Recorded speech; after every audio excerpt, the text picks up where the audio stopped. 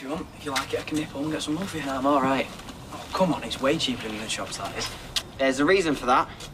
They don't work, mate. Keep it. Oh, cheers for that. We're just going to buy a couple. Did you not hear what I just said? My dad said they're faulty. No one else has complained. I want my money back off you. You got a receipt. Are you joking? Does it look like I'm joking? Hey, hey, hey, hey! You doing? Nothing. Well, it don't look like nothing, Dylan. Ah, it was my fault.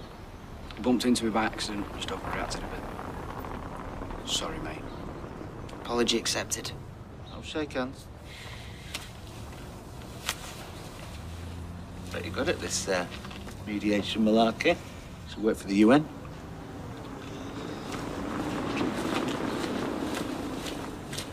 Do you want my advice? You dump those vapes before they cause you any serious trouble.